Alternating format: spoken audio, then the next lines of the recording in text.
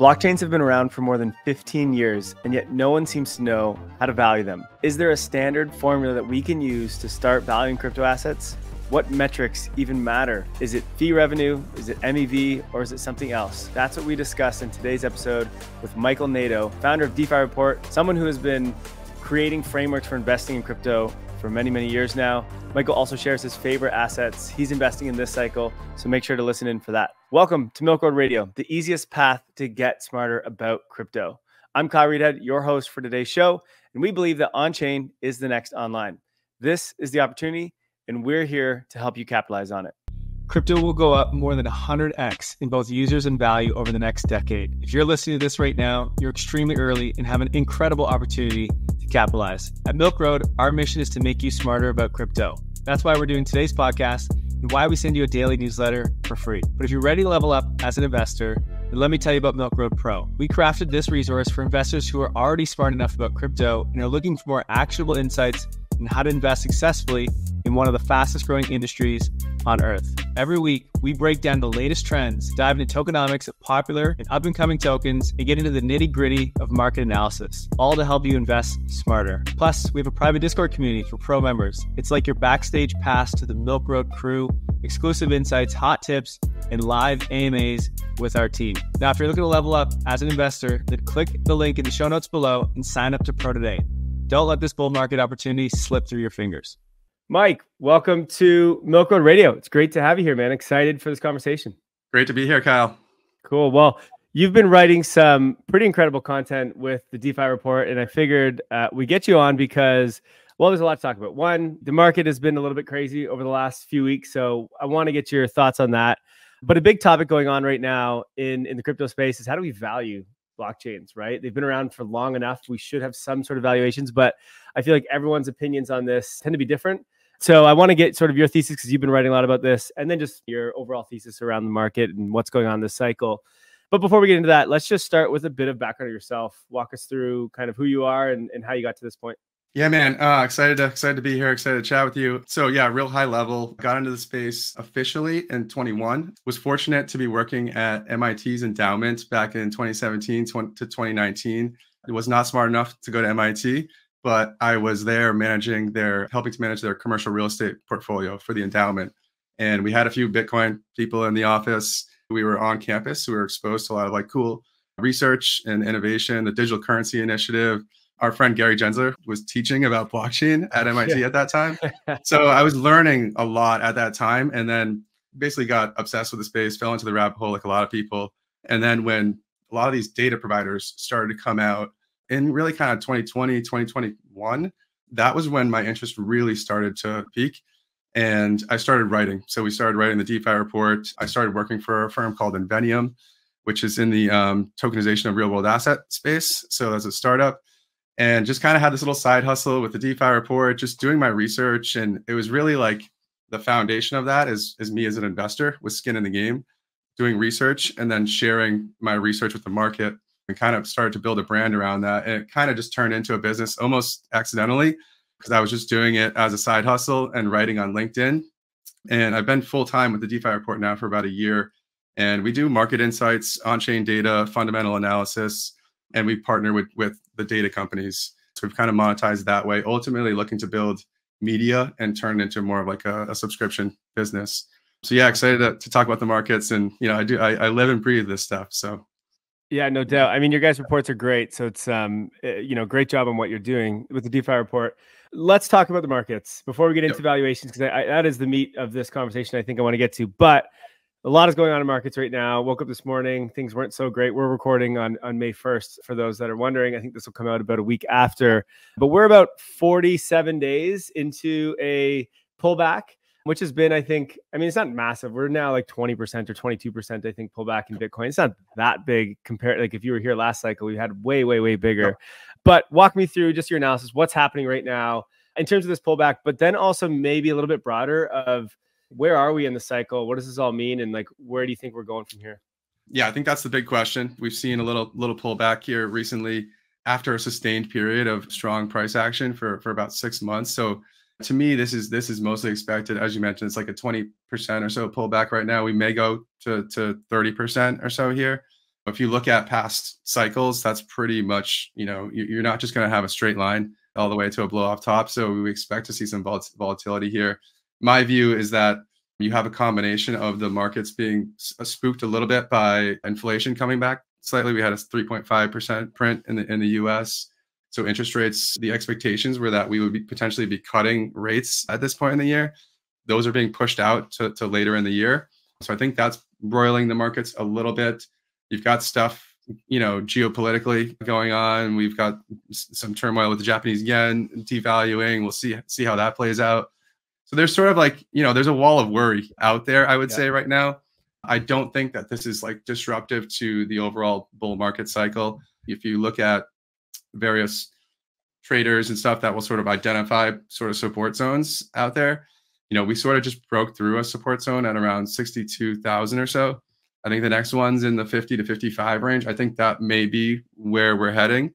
And, you know, alts alts are down 60, 80%. So I, I view this as sort of a little like a shopping spree potentially for stuff that you have high conviction on for, for the rest of this cycle. So yeah, I very much see it the same. I think one, it is expected. And I think if you are aware of cycles and how this works, like this is pretty normal. And then I also think we're just sort of in the middle of the bull market right now, in my opinion, which mm-hmm. generally we sort of lag out and there's like so this like stagnation. You get pullbacks, but they're sort of long-winded ones. Yep. And then the next part of the cycle, which is I would say the like the final part of the bull market is where things get a bit crazy. You have these very fast, aggressive pullbacks, um, but price goes up nuts. Uh, and I think we it generally takes a while to work through the price action until you get to that point. But I think that is coming. But I think I don't know, could be weeks, could be months until I think we get there. What is your sort of thesis around this bull market? Is it a typical cycle like we've had in the past? And are you thinking, you know, maybe this thing tops out somewhere in 2025, or is this something different? I would agree with you. I think my view is that we're early to mid cycle here. You know, we look at a ton of data points on this, and I'm happy to share sort of the, what those data points look like. But yeah, I believe we're sort of like mid cycle, and I agree with you that mm, the aggressive price action will likely come in the second half of the cycle after we sort of chop people up uh, a little bit here to get there. But as far as like, are we, you know, is this going to be a super cycle? Is it going to be like a, a shorter, quicker cycle? Because we we did see Bitcoin Bitcoin all time highs prior to the halving, which is the first time we, we've seen that. My view is that this is going to be a longer cycle. Like we may see Bitcoin breach 100k this year. That wasn't my prediction at the beginning of the year. I thought we might get close, but maybe breach that next year, and that the actually pr- aggressive price action would probably be in 2025. So mm. unclear to me if that's going to be October of 2025, which is sort of would line up with the past few cycles, or if it's going to be potentially a little bit shorter, a little bit more aggressive this cycle.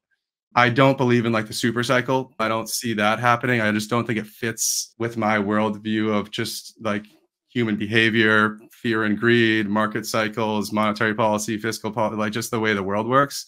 I don't think we're going to have like a super cycle. I do expect there to be somewhat of a blow off top and then a, a significant correction again. So, yeah. I, I, mean, I would say we're already in a super cycle. It's just not. Right up yeah. only. You know what I mean? Like it's like the yeah. internet has been a super cycle for decades, but it has not been up only. We've had many big pullbacks along the way, and I think that yeah. just continues to happen in crypto. But we're in a secular trend, that's for sure, when it comes to crypto. All right, let me ask you this question: ETH, Bitcoin, Sol. What are you most bullish on for? I guess this cycle.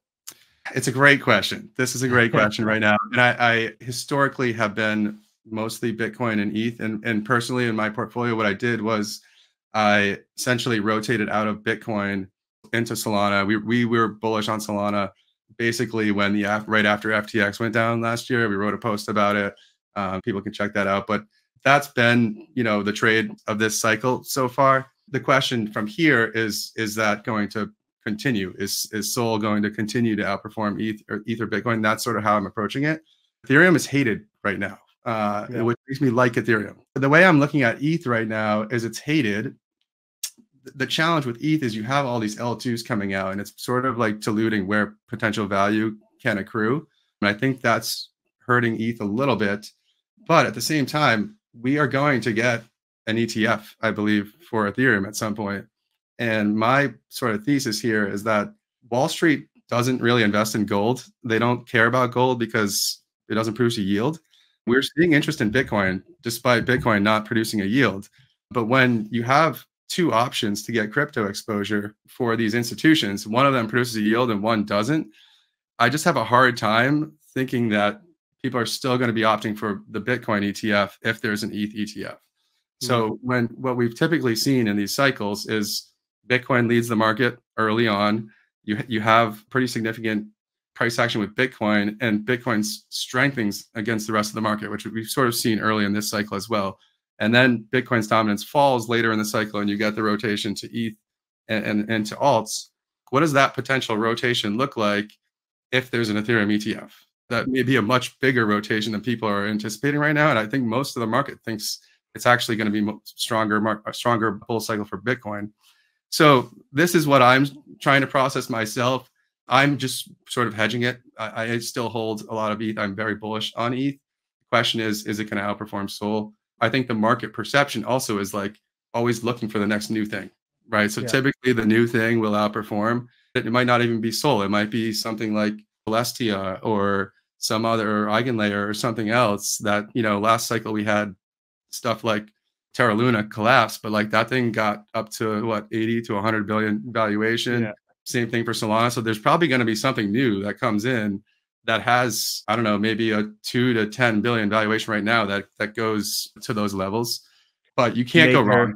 In, in my view, you can't really go wrong. Just you know, sort of hedging yourself with those three assets if, right. if you're new and you're coming into the game.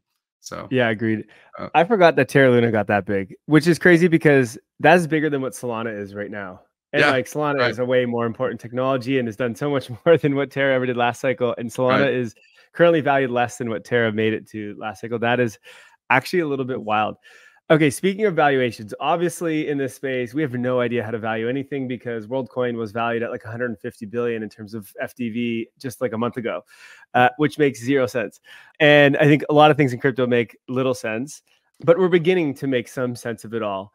So let's just talk about blockchain specifically. And for the listener, remember, not everything in crypto is the same.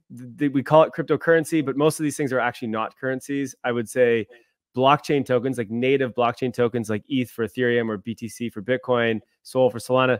These are currencies. These are native currencies of their blockchain. Right. But something like Maker or whatever else, any application token, this is not, it is something completely different. You could think of it more like a equity token or a governance token or something.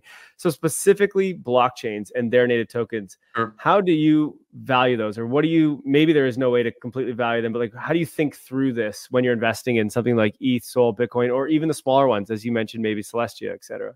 Yeah, it's something I've th- you know think a lot about. We work with these data providers. Everyone's trying to create standards around fundamental analysis. My thesis is that we are going to come to some sort of consensus on this and like if you go back in history and you look at the way the stock market's formed and like securities analysis and this like, idea of like intrinsic value, that is a social construct, right? It's mm-hmm. I think people forget that like somebody just sort of came up with that and then the market coalesced around it and everyone said that's the right idea, that's what we're going to do and we're going to apply that for relative valuation. So I believe the same thing's going to happen for crypto assets. The question is like what is that framework? And I put together a document called the Ethereum Investment Framework. It's got Ethereum in the name, but it sort of is pretty broad in the way that we approach just like the, the whole public blockchain space. And we go through different valuation methodologies in there. And we sort of proposed like four different ways to potentially do this. I don't think there's necessarily a, a right or, or wrong way to do it, but I think you have to have some sort of framework the first one that we that we go through in, in the Ethereum investor framework is total addressable market analysis, which is pretty standard in, in finance.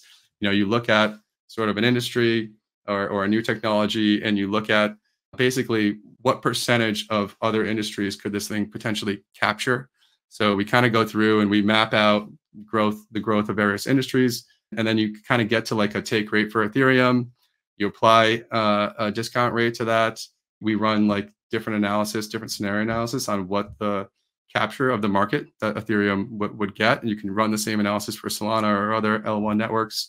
So that's one one way to do it. You can do a DCF. I don't think that's super useful with like an L1 just because the thing that you're trying to value is like priced in the, the native asset, right? So there's sort of like a yep. circular logic. Explain what a um, DCF is, real quick. Uh, discount cash flow analysis. So basically, what you're doing is you're projecting out, you're forecasting the revenues of Ethereum because there's a cash flow there. You're forecasting out what the growth rate of that could look like over a 10, 20 year period, applying a discount rate to those cash flows to get to like a present value of what that, that network could look like. So we run through that analysis also in the Ethereum investment framework.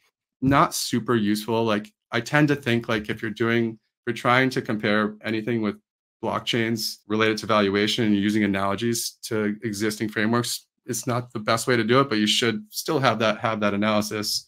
The other way to do it is we look at price action through through the cycles, and then we're comparing that to actual fundamental drivers of the price action. So active users and number of non-zero wallets and developer activity and like the, the basically operating metrics of okay. through the cycles. So we sort of map that forward to get to like a, a potential price for this cycle. And then you can just kind of do like a, a very high level extrapolation. So the crypto market got to about a $3 trillion valuation last, last cycle. You could start to look at that and say, okay, how much of that went to Bitcoin? How much of it went to like smart contract networks? How much of it went to other sectors? You could sort of forecast out what you think that growth rate could be for the next cycle and kind of back into some numbers there. Just a way to sort of get an idea of where things are going but there's not consensus in the market i would say on what is the way to, to actually value these things. And like in some respects all four of those things are probably wrong. And like the thing that really just matters is like is there demand for eth sort of like right. is there demand for dollars when i think of like an l1 it comes back to the moneyness of the native asset. Why did the dollar just have this massive network effect?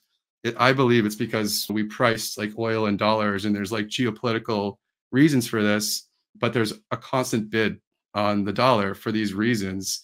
And if there's a constant bid on ETH, you have to sort of map forward like what's going to be the reason that people want to hold ETH. So when you see like L2s not, you know, pricing their transactions in their asset, but pricing them in ETH, when you see like the restaking and you need to hold ETH to access the yield from restaking solutions, you're creating demand for ETH. And mm-hmm. that's the key thing to me. So I think other networks need to be thinking about that as well. And ETH is probably the strongest network in that regard. And we continue to see more and more ETH making its way into the ecosystem. So less on exchanges, more in the ecosystem, which means it's becoming more capital efficient, which to me, that's the probably the proper way to think about this. And not so much, and then maybe the yield on it, and not so much trying to come up with a valuation. Like just look at the yield, and then that's like your PE basically, or whatever it's paying you. So I want to go back into those demand drivers. I think that is really important. We also just released a pro report. I can't remember the title of it. Actually, it comes out this um, this week. So for those listening, it will have just came out, and it is basically all about the demand of ETH and why that is sort of the bull case for ETH.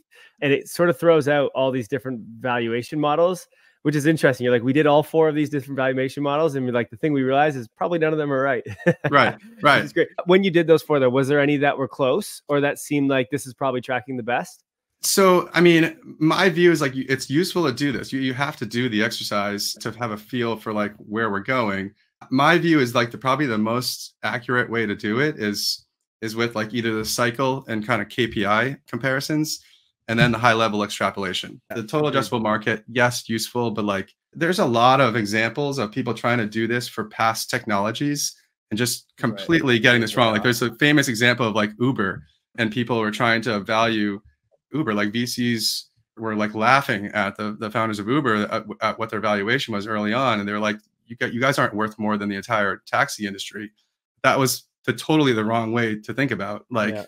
the potential value of something like Uber. So when you introduce a new technology and it has massive network effects, like comparing it to, to something else is is probably not useful. But. I think it was Yahoo or AOL or someone did this with mobile phones too. They thought mm, like yeah, a couple yeah. hundred thousand people or yep. whatever were going to own phones. A McKinsey report it. or something. Yeah, yeah, yeah, yeah. yeah. Uh, so quite interesting. Yeah. One of the things that's gained a, some serious, I guess, wind on Twitter was Token Terminal putting out a bunch of these like income statement reports and comparing. I'm not sure you saw these, but comparing like ETH Sol, Sol to Bitcoin, base mm-hmm. to Sol, and looking at revenues and expenses from blockchains. Revenues being fees, and then expenses expenses being inflation. And I think revenue was actually more specific to burn, as far as I remember. You said, you know, looking at revenue is probably not super impactful. Is this helpful? Does this like help at all in your investment framework, for example, for ETH or for others? And does this matter for you for like when you chose what's going to be a better investment, Bitcoin, ETH, Sol? Like obviously, Sol, high inflation, not burning much Sol. Bitcoin, not high inflation, but burning nothing. Yep. And probably leaky value because it goes to miners who need to sell it. Ethereum, well, they seem to have solved that, but like, does that even matter? And I feel like that's yep. a big debate now. What are your thoughts around that? Yeah, I mean, I, I think what Token Terminal is doing is is trying to like create a standard for for relative valuation, right? The market can right. decide if token incentives or consensus rewards are expenses. Like I've seen this sort of getting debated. I think it's kind of a like misnomer to even like try to debate that. Like they're not traditional expenses. We know that they're right. Their expenses. I think the way I think of token incentives is at an expense. I think of it as like if you are staking the asset, it's not an expense to you because those are being paid. That's actually yields to you, similar to like if you were holding dollars versus somebody holding a treasury bond and the government's printing money, the treasury bond holder is capturing that. The person holding cash is is basically losing. It's, it's kind of the same concept. It's an expense if you're not staking and it's potentially diluting you with Ethereum. That's being offset potentially by burn. And so you're not actually even being diluted if you're just holding ETH. But I mean, in general, I want to look at those things. I do want to look at it. I don't care what we call it, but I want to look at what is the token incentives or expenses, whatever we want to call it, and then compare Ethereum to Solana to Bitcoin. You mentioned like WorldCoin and stuff, these networks that have just a ton of, you know, future issuance coming. Like if you're an investor, definitely need to be paying attention to this if you're uh, a long-term investor, especially in as you go through it, like the cycle, like people that are holding that asset are, are going to be selling into selling into it. That's not necessarily the token incentives, but yeah, that's my view. We need something for relative comparison. What we call it doesn't really matter. That's right. kind of my view. Okay. Interesting. Yeah. I mean, fees, I feel like it definitely plays a role in the demand side as well, right? Like obviously supply matters for ETH because it's burning, but mm-hmm. it's not the biggest amounts. It's not going to make like a massive difference in like in that very moment. Yeah. But I think the burning of ETH and the ability for ETH to drive like basically to create yield from activity is a driver for demand because people want to hold something that that has yield, as you said at the beginning. Yep. And so I think Solana obviously has that too. My one question or my the thing I'm unsure of when it comes to blockchains is like what happens with fees long term? Like probably they all go very like not zero, but they go down and it becomes sort of commoditized or do you think what are your thoughts around the fee structure yeah. of blockchains great question and this is be- going to become more of a topic of discussion i think with ethereum as as it continues to build out in this like modular format because you could look at ethereum i'm saying ethereum but you could apply this to solana uh, as well when you look at it it's like well how should you think about ethereum one way to think about this is you have all these applications all these l2s other applications on top they're all paying for block space and to, to settle down to ethereum today. So you can almost look at Ethereum as like you're buying an index fund that yeah. has a high growth index fund and like we're rotating new L2s, new apps and stuff into it, just like if you were buying S&P 500 or something. That's like one sort of, I guess, framework here. The challenge is that now we have data availability networks coming in and some of these L2s like Celestia, for example, that's just making the, the most of that cost and, and the value capture of Ethereum is data availability cost. And so when you introduce something like Celestia and the L2 is using Celestia for data availability, there's much less value that's going down to Ethereum at the base layer. So how what does that look like as if that continues to sort of scale out? Does Ethereum just start to sort of wither away? Like all the value starts going to the data availability layer or the L2s.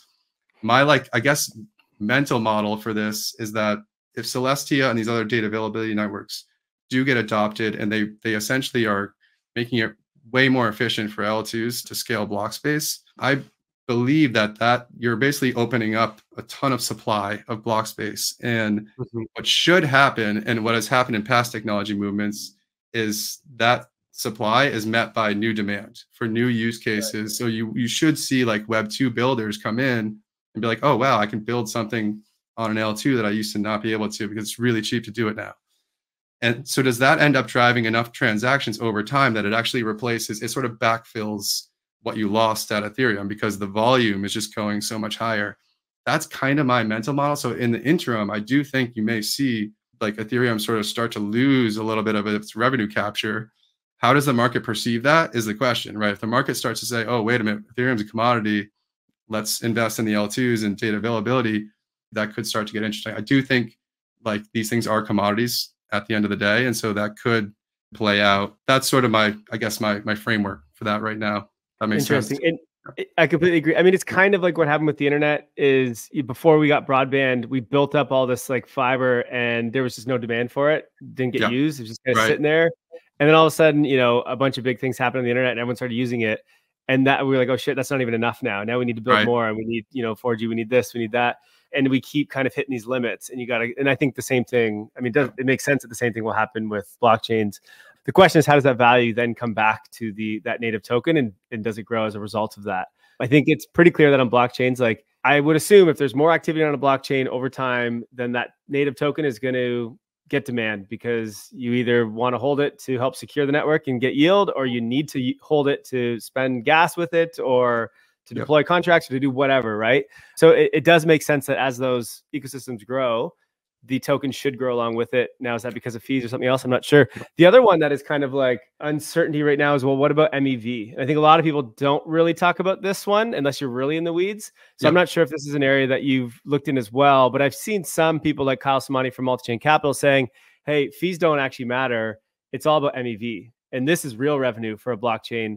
Do you have a a thought on that as well? I'm curious. What is what is he saying basically? What is maybe if you could articulate what his stance is on this, I could respond to it. I I'm not sure what his take is on on it. I mean, MEV is certainly like a, a major part of value capture of, of these L1s, but I'm curious like what he's where he's going with that on on terms of valuation. I I think he's basically saying like fees will be commoditized and basically go down to like kind of zero type thing okay. as we as we scale. But MEV continues, and that is a way for validators and stuff to okay. to make revenue. Yep. And if you look, Ethereum's MEV has kind of remained the same, but Solana's is just absolutely going nuts over the last few months. And so he sees that as the real growth revenue factor, and fees probably not so much. Okay, that makes sense. I mean, if you think about MEV too, like what is Google? Like Google's basically MEV. Like MEV is just you're in a powerful position, and somebody wants to essentially pay you to get into that position or, or get access to something that that you have basically Google is, you know, Google advertising is, is essentially MEV. And like, right. I could see that happening. Um, yeah, I could see that happening. Like where fees, use, user fees just end up at zero. There's so much richness to all the data and everything that's happening on these public blockchains, especially uh, uh, for finance, that you know there's just an incredible amount of value within all of that data, and people pay for to get in front of a trade or to you know what that's basically how, how it plays out. I, I think that makes sense. That was a great way to explain mev by the way. I haven't heard it explained that yeah. way but it's a good uh, it's a good analogy actually yeah. i really like that. Is there anything more you want to add on the sort of valuation side of, of l1s or did we sort of cover most of the bases? I think that is i mean the high level people can check out the ethereum investor fair we put some price targets in there. I won't i won't give them out right now. So hope people download the report but people can check it out. We did put price targets using these methodologies.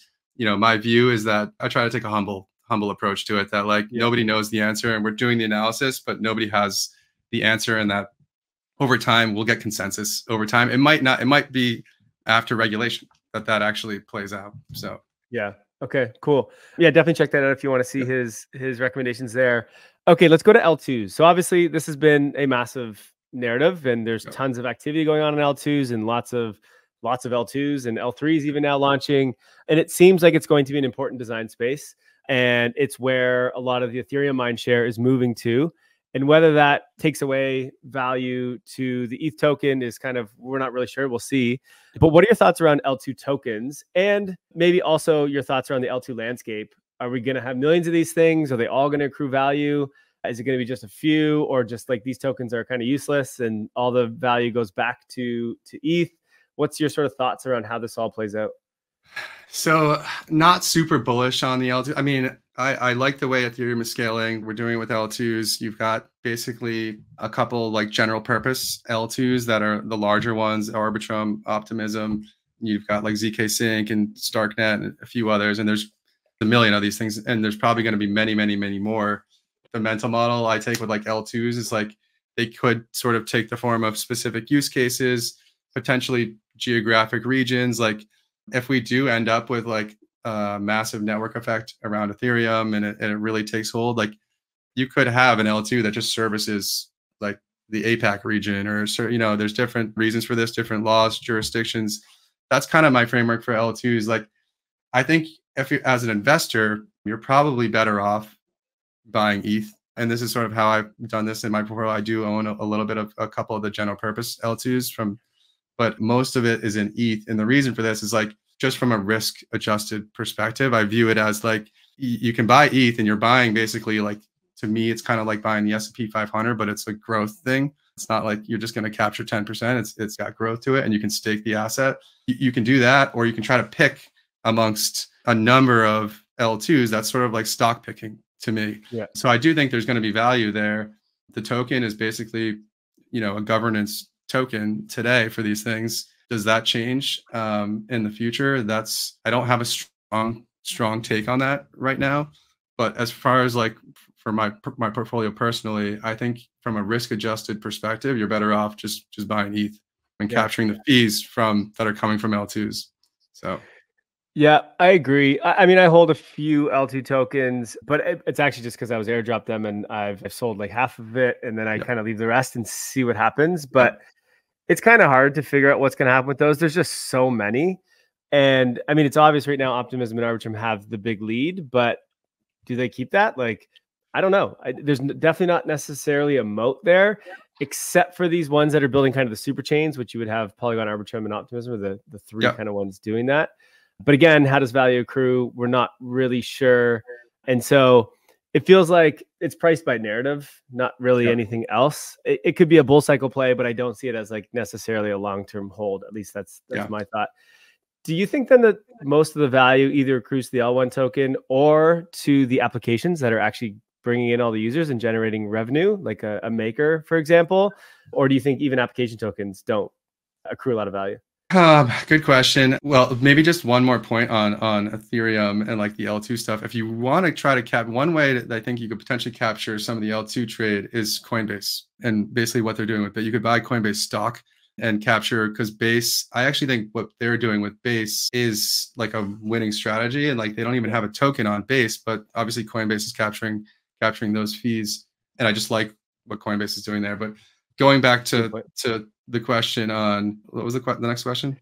So I call them application tokens. Oh, probably accrual, like yep. yeah. So value accrual for for the applications, the use cases that exist on chain, are they going to accrue any value? Obviously, there's like you can turn on a fee switch for like Uniswap and that.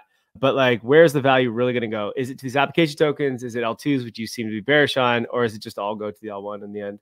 It's great. I mean, the DeFi sector, I've been writing a little bit about this, like has probably the best product market fit. When you look at the DeFi, like OGs, Maker, you mentioned, Uniswap, Lido, like especially within the Ethereum area ecosystem, like there's product market fit there. When you look at fundamentals, there's probably a couple protocols that could do a billion dollars in, in revenue. You're right. That's not market cap. That's a billion dollars in revenue in the next year. So there's there's real value there the, the challenge is that they're governance tokens. There's no way to capture that in the same way that you can just by holding ETH and, and staking ETH. And so to me, this is potentially like a problem with regulation that's like sort of like throttling the ability for these things to capture value. It's kind of sad. It's in my view, like this is pushing people to meme coins and like other like scams potentially because we, we don't right. we don't have regulation around the things that actually matter and instead we're suing these companies so it's it's pretty disappointing. My view on like I guess just general value accrual is sort of this is kind of like the fat protocol thesis. Like most of the value is going to L1s. I think that you know has held true over time. Is it going to hold true in the real really long arc? I think value is going to move up up the stack, and ultimately at the end of the day, this stuff does sort of get commoditized. It doesn't mean it's worthless. It does start to get commoditized, and the, the growth starts to tail off and most of that value does accrue to the applications that have the relationship with the user. Stuff like Uniswap that does have that, they have fundamental economics underneath with the protocol, and they also have a relationship with the user via the wallet, via their interface, which is pretty popular. I am looking at like I think Uniswap because it's so hated right now and it produces quite a bit of volume and, and cash flow. These things are interesting at, at these levels. Maker has made a big move already this cycle. There's a, there's a lot going there. So I, I think it's worthwhile to be looking at the like that space right now. Do you uh, think it needs the fee switch though for them to really make it to the big leagues? Let's call it.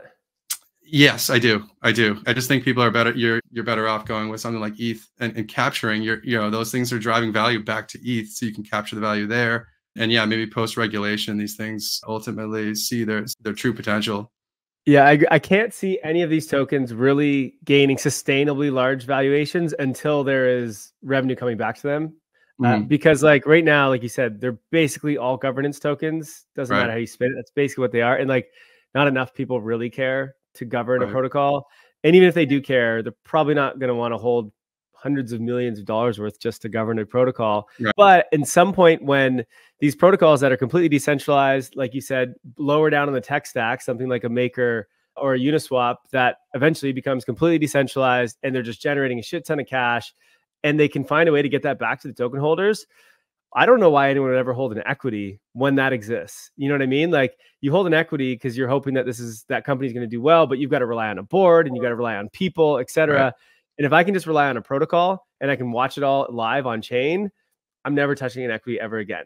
So I always say I think the super cycle happens when we figure out how to accrue value to the tokens of applications that are generating like real large sums of revenue. Yeah. And we're not quite there. And like you said, it's probably because of regulation. We'll see if that happens or changes from this cycle. And if not, then I think once again we have another cycle where it's just the L1s, the major L1s that sort of hold any meaningful type of value.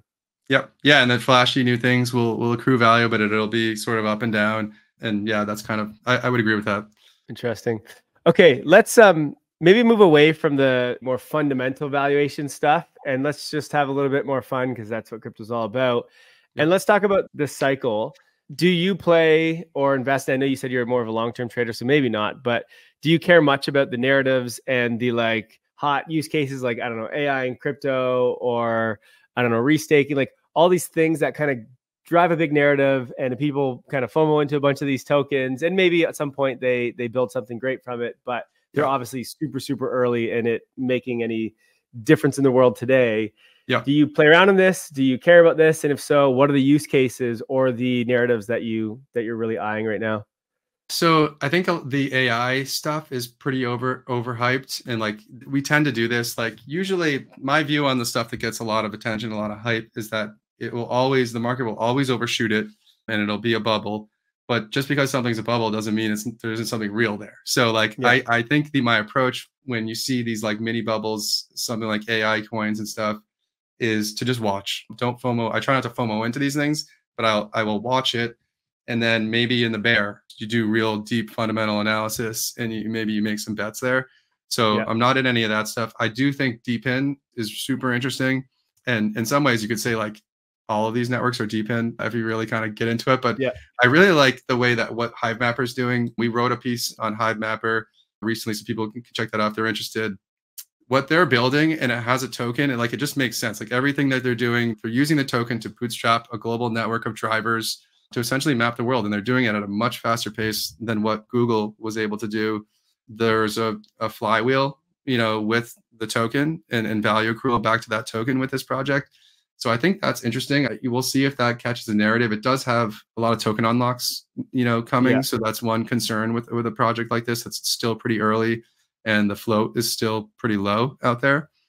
The thing I like about Hivemapper though, uh, before you continue, is it's not just a faster way to bootstrap versus Google. It actually creates a better product because they can have like live updates of right. the map, which Google cannot do in their with their fleet of cars. It actually then results in a much better product, which probably unlocks new use cases and new apps that can't exist with the maps that Google or Apple, et cetera, provide that to me is where I was like, oh, Hivemapper is doing something really, really cool. And that's not possible without a token to actually drive the incentives for people yep. to make that product better. But I agree in terms of flow yep. and like, is this investable now? I don't know. Yep. But I see the future of like, oh, this thing is actually a way better product. And that's the thing that excites me. Yeah.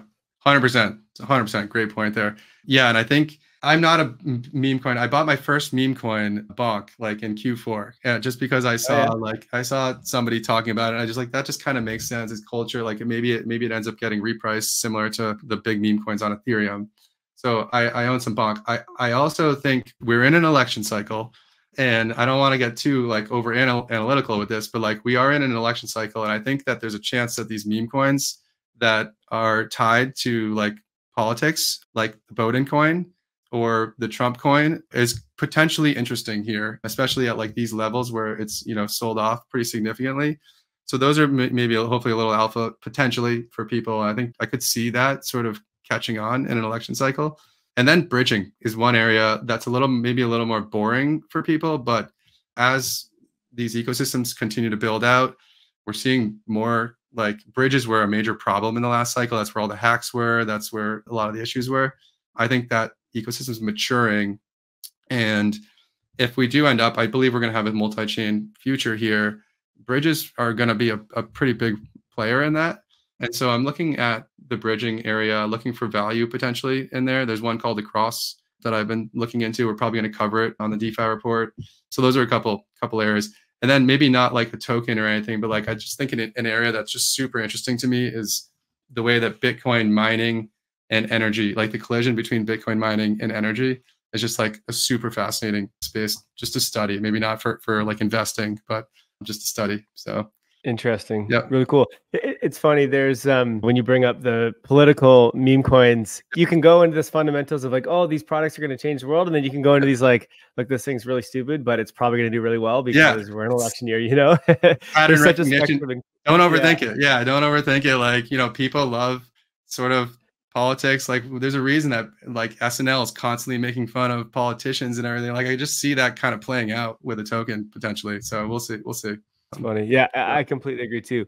Okay, as we wrap up here, I just want to ask one more question, which is we sort of talked about your timelines around this cycle. You said maybe even a little bit longer than 2025. Yep. What are the things you look for where you're like, okay, you know, we we mentioned already we're probably early to the middle part of this bull market. What do you look for when you're like, okay, it's probably time to get out of the market? Like things are getting a bit toppy here. What are your signals? Yeah. So typically I'm looking at Glassnode has a lot of good signals here and it's mostly Bitcoin. So I mostly, and we do a lot of like cycle awareness updates. We use Bitcoin data for this because Bitcoin tends to drive the market and, and everything kind of falls off of that. So what I'm looking for is like certain metrics like MVRV ratio. I'm looking at long-term behaviors. Are they selling? Are, are you seeing like the, the percentage of the network that's held by long-term holders like significantly dropping? It's basically the smart money starting to exit. That's a sign. Bitcoin dominance is another like factor that I tend tend to look at. I'm looking at funding rates, open interest, just to see like if the things are just getting like way over out over its skis. And then you have like the retail stuff that you can look at, like what's happening with Coinbase. You know, last cycle, the Coinbase app, everyone kind of knows this went to number one, so you can you can track that. I think there's a, a Twitter account that's that's tracking that, so I put on notifications for that. What else? There's you could kind of get a feel for things by observing popular YouTube channels and how many views. Like, is it you're looking for like a wave of new people coming into crypto, and usually when, at the peak of that is sort of the peak of the mania. So those are a few indicators for me. Yep. Super helpful. Love it. We're very in line with a lot of our analysis. So it was great Yep, to have you nice. on. It was great to learn from you and, and confirm a lot of things that I think I've been hypothesizing as well. So this is really good. If others want to learn from you and keep up with you, where can they where can they find you?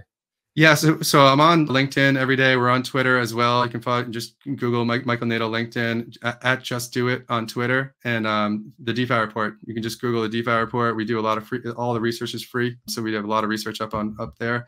And then we have the podcast, the Signal podcast as well. So This is Awesome. fun, man. We'll put the yeah, we'll put the links to those in the show notes. Listeners, thanks so much for for joining us today. Michael, thank you for coming on and sharing your wisdom. It was uh, very helpful, and we'll have to get you back on uh, again in the future. yeah, we'd love to. Thanks, man. Cool. All right, take care and have a good one, everyone. We'll see you in the next episode. Thank you for listening to Milk Road Radio, the easiest path to get smarter about crypto. If you like this episode, share it and hit subscribe or follow so you don't miss out on the next one. There's also a link in the description to our free five minute daily newsletter where we simplify crypto for you while making you laugh. And if you're willing to step up your crypto investing game, then we'll leave a link to Milk Road Pro as well, your number one resource to help you invest successfully in crypto. One final note this podcast is for educational purposes only, and nothing we say is financial advice. Crypto is risky, so you should never invest more than you're willing to lose. Thank you, friends, and we'll see you in the next one.